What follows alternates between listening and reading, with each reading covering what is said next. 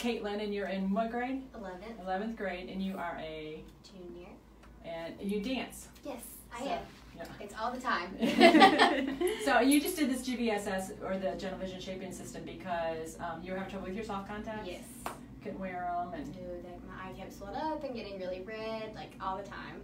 I did not know was wrong, and no one could figure it out. So so now you were dancing in your glasses. yes, and that was so hard because you can't really do turns and leaps and glasses.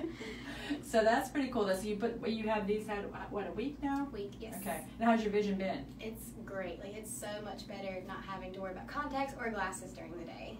And so you've been able to see everything. Yes, perfectly. So in do you drive? Yes. Okay, so you got to make sure you're just staying Yes, on the road. I am. I know. Girl is like, I feel so safe riding with you. Like, yeah, I know you can see everything.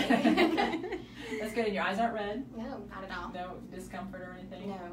Great. So I, I'm excited for you to start the school year, being able Me to see too. clear. You know, and then being able to dance without your glasses spinning and all Mhm. that. I know.